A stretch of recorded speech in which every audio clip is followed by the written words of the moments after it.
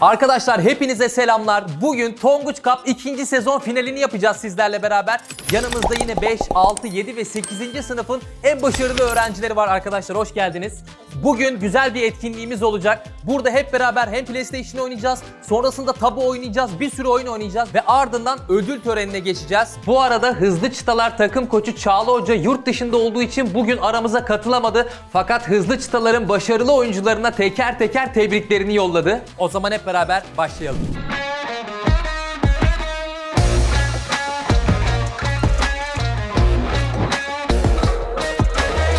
Son tur bir Nida öne geçiyor.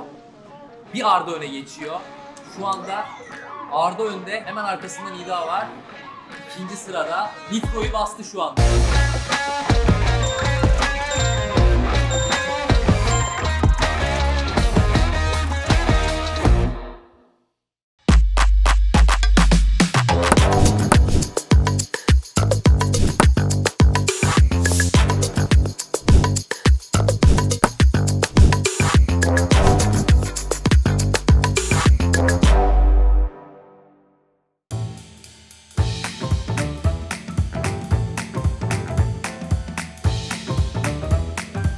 Podu gibi bir şey böyle hani çok çabuk geçiyor ya. Evet.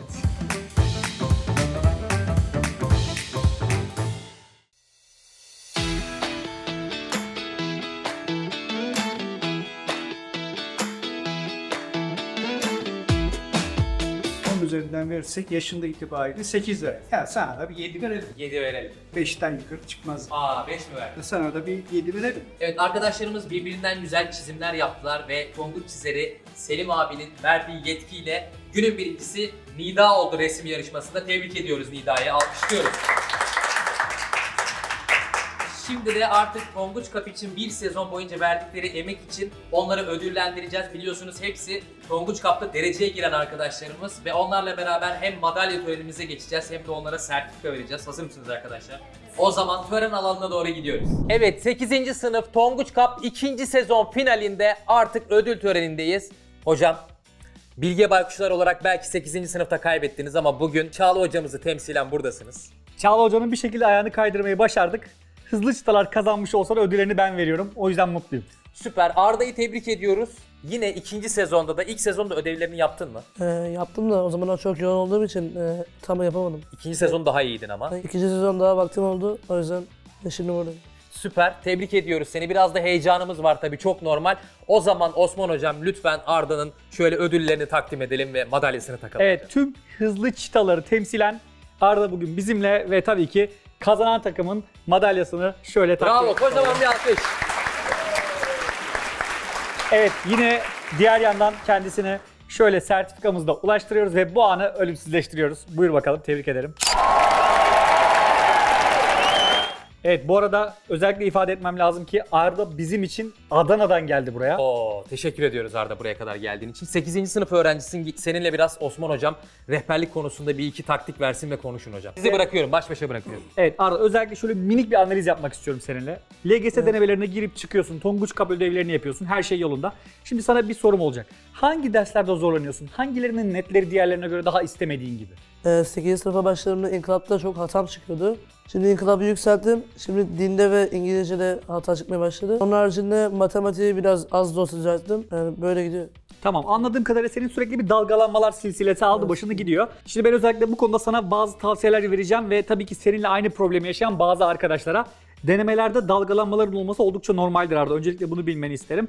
Ve özellikle her gün paragraf çözümüne dikkat edersen sadece Türkçe netlerinin değil yine inkılap tarihi ve din kültürüne ait derslere ait netlerin de arttığını göreceksin. Çünkü bu konulara ait içerikler biraz böyle bilgiyi gerektiriyormuş gibi olsa da aslında daha çok okuduğumuzu anlamaya yönelik şeyleri içeriyor. Özellikle inkılap tarihinde bunu çok net olarak görebilirsiniz arkadaşlar.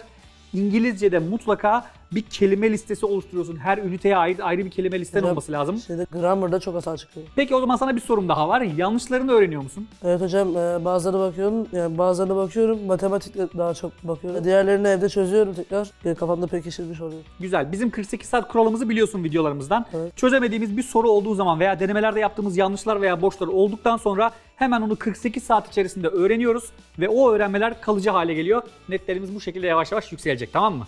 Arda'yı tekrardan tebrik ediyoruz o zaman. Ben derim ki diğer arkadaşlarımızı da buraya alalım ve hep beraber ikinci sezon finalini şöyle noktalayalım. Evet 5, 6, 7 ve 8. sınıflardaki tüm arkadaşlarımızla beraber Tonguç Cup ikinci sezon finalini artık noktalıyoruz ve kupa kaldırma zamanı tabii ki.